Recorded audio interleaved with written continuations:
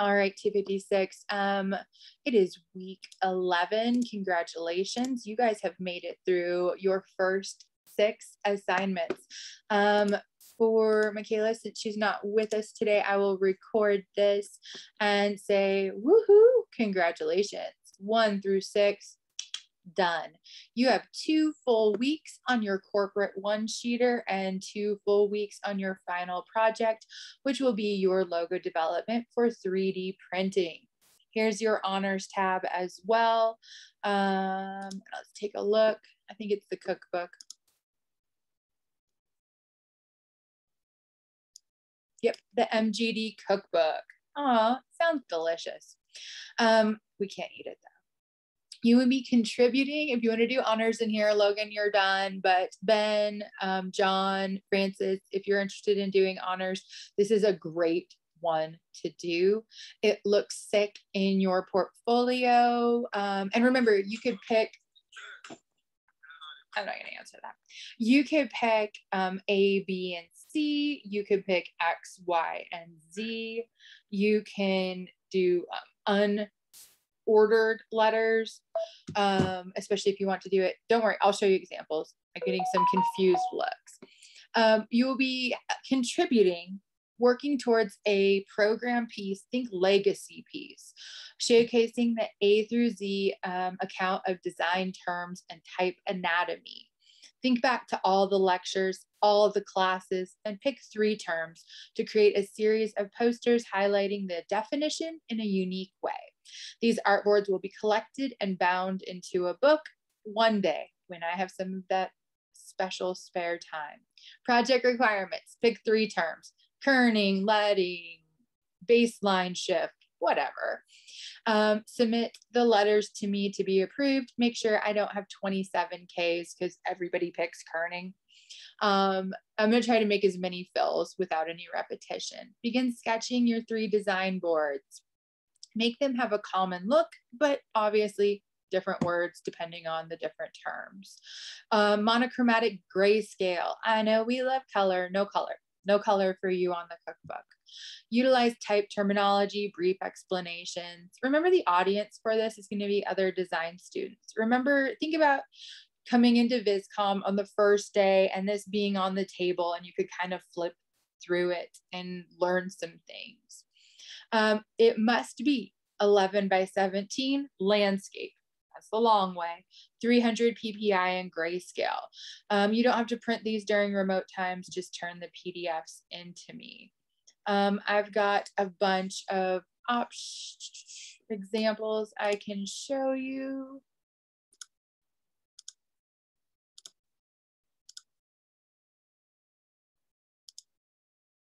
So you guys get it. B is for baseline shift.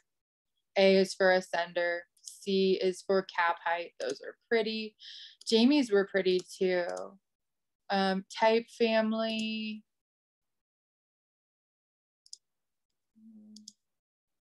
Not that one.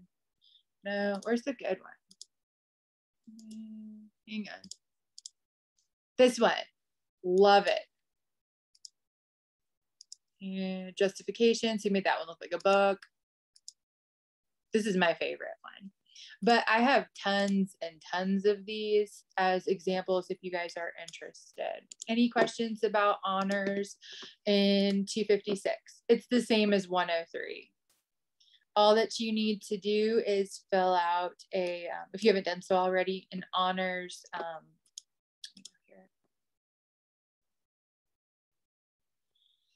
there is an honors tab right here. And the first thing that you will do is fill out a honors questionnaire and email it to me, direct message it to me, send it to me in a telepathic message, smoke signal, whatever. Um, this is not a commitment. It's just so that I have all the information that those forms I was talking about filling out for Logan. Um, it's in the order of all those forms. It's an editable PDF. What? Imagine that. Um, questions on the honors assign the honors program at all?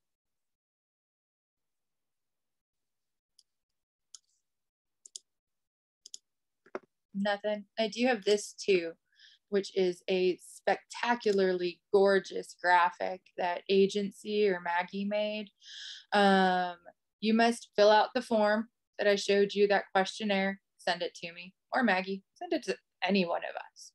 Maintain a 3 P- 3.5 GPA. Y'all do that anyway. I know you do.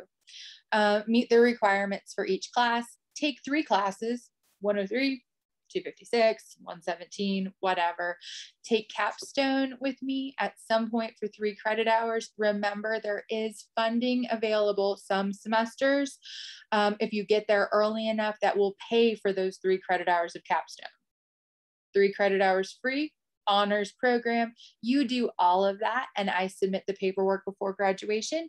You get it on your diploma and in the program at graduation, and you get the ropes and cords that say honors. Super cool. Is that good? Any questions?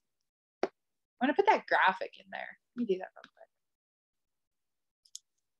That's nice.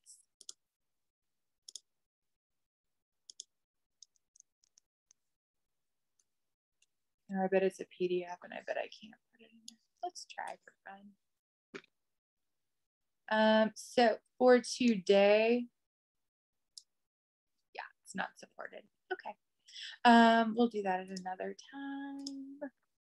For today, we will be introducing and taking in all of the awesome information about your corporate one pager, your corporate one sheeter, your one page leave behind, same name, same project, different name, same project. I popped in some examples of some good looking corporate one sheeters. I think this Mercedes Benz one's great. Imagine, you know, you go into the Mercedes Benz shop and on um, one of the tables in the waiting room, there's this, you pick it up, you take it with. It forever makes you want to buy one. Um, here's one for to drive more customers through digital. Pretty cool. I want to make sure, and I put versus the graphic report, uh, annual graphic, annual report graphic. These are two totally different things. Smile and nod. Annual reports, you guys are going to present to 103 at one o'clock, if I can get through all of this in the next 11 minutes um, so that they have an idea of what an annual report is. By the way, I think they're all graded. You guys did a great job. Your corporate one sheeter assignment seven is completely different, should be completely unrelated, and can be about you.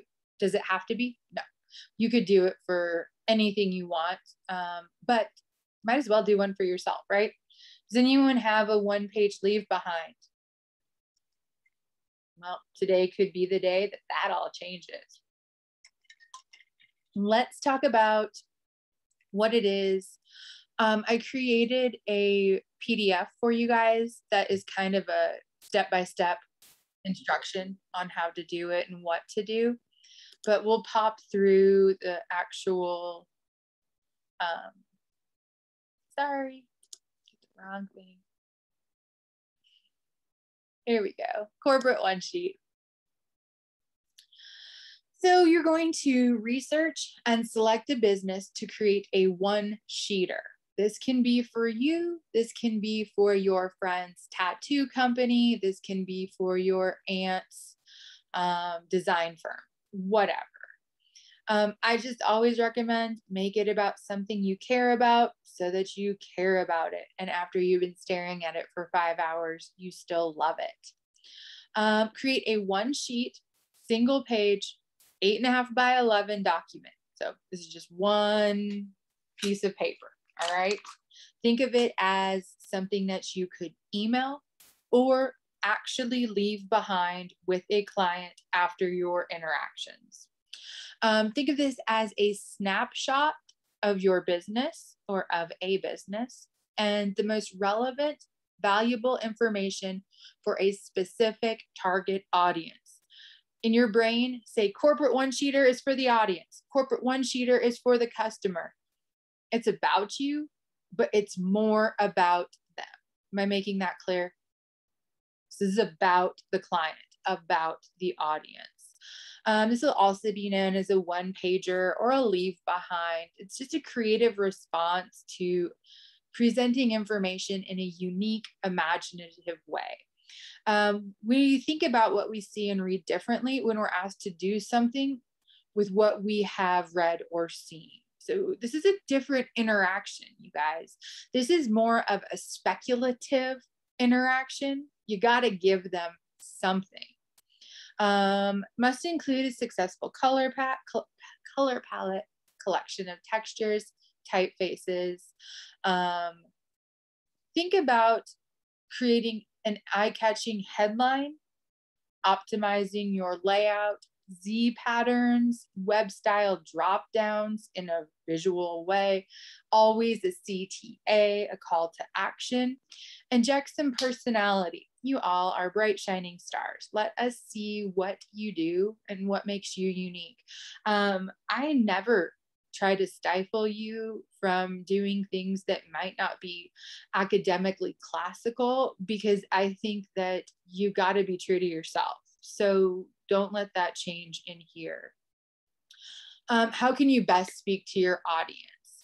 Um, include any relevant testimonials. But Stacey, I haven't had a client say, You're the best, you do things on time. Make it up. I will say it you have all turned things in on time. You can quote me on that. I'm happy to leave a testimonial for you to use if you haven't already done gotten some in life. Um, if you go to my website, what is the first thing, other than like pretty pictures, you see? Let's look. Boom, testimonials. Oh, look at all these beautiful pictures she's made. I have. They're all mine and they're good. But at the bottom, testimonials. Best day, best photographer ever. Ooh, I like this one. We had an outdoor photo shoot at three and it's five. We already have our photos. Do you want to know what I charge them on a one hour turnaround? It's ugly, but awesome. Um, testimonials are the best way for other people to say, oh, real people thinks this person does a good job um, all graphics. Oh, end with a compelling call to action. Yes. Um, turn in one eight and a half by 11 document that have has all the graphics in it. Uh, 20 points for your concept development and research, 40 points for layout, um, 25 points for successful collection of layout, 10 points for use of negative space. There's a hint. Leave some negative space. Uh, these tend to get busy because you want to say a ton of things. So let your layout lead you. Now, I've um, got five minutes. I can't read all of this to you, but I am hopeful that you can all and will all read this yourselves. How, I'm sure that someone was going to ask, how do we do this, right? How to write a corporate one pager if someone asked you what you do or what this business does, how would you be able to accurately and concisely describe it in a compelling manner? Think elevator pitch. I got 90 seconds as we go to the 10th floor for me to convince you that you need to hire me for something. So make sure you're hitting the five W's. Um, what is it it's a single page that distills down what your company does and for whom. Think of it as a um, elevator pitch. I'm saying these out of order. Elevator speech or pitch. Its general purpose is to intrigue the listener to want to hear the entire proposition in the near future. So the noticeable difference in a marketing one-sheeter that it's written in a format and it's portable. It can be emailed, shared on social media, downloaded from your website, printed, mailed out, and so forth. Um, I do a lot of these. Like I'm uh, embarking upon another massive premier gymnastics at the Rockies shoot. And so I made a um, frequently asked question one pager. I send it to them, I print it out and post it on the window. That alleviates 657 emails from 400 parents about how it all works. Think of your corporate one sheeter as being a frequently asked questions page of what you do um, or what you, whatever company you pick. With a one pager, you present a full snapshot of the business in one page. The overreaching benefit of a one sheeter is that forces clear, concise, benefits driven communication. You guys hear me on that one? Benefits driven communication. What are you going to do for them? Uh, who needs a marketing one pager? In short, you do. But basically, any company that has a marketing need and utilizes email communications or face to face interactions. How do you build your one pager? When assembling your one sheeter, be selective about what you include. You only have one page, you can't put it all in there. The one sheeter must be visually appealing and inviting to read without making it look like a lot of work to get through. That's killer. Think back to that Mercedes one. It was just all you needed to know to be like, yep, I want that car. Um, last but not least, key action in this case of copywriting, you want the reader to take action. Buy that Benz, whatever, book you for a logo redesign, anything. Elements to have at the top company name and logo. Please tell me that was pretty obvious. Um, let the reader know who it's for. Um, have you guys ever heard of a pain point? this is more in marketing world, but call out what your target audience suffers from or needs help with. Be as specific as possible. Remember, you can't be everything to everybody. Test this element of your one sheeter repeatedly until you find the best performer. In essence, your pain point is your headline for your one sheeter. So this is different than your tagline. It's your pain point. Uh, I think it's fun. You guys have never heard that term. We say it a lot in general hustling. Um, it's got to grab attention, right? So here's an example. Instead of saying something like the Bay Area's number one HVAC company, HVAC company, bland, boring, it could be had enough of your outdated firmness giving you the cold shoulder at night. You guys see the difference? It says the same thing, but it doesn't say I'm the best. It says you need my help. That's the essence of a pain point. Put it at the top. Uh, the bottom line is you're hoping the reader is nodding their head saying, Yes, my outdated furnace sucks. I need to hire these people.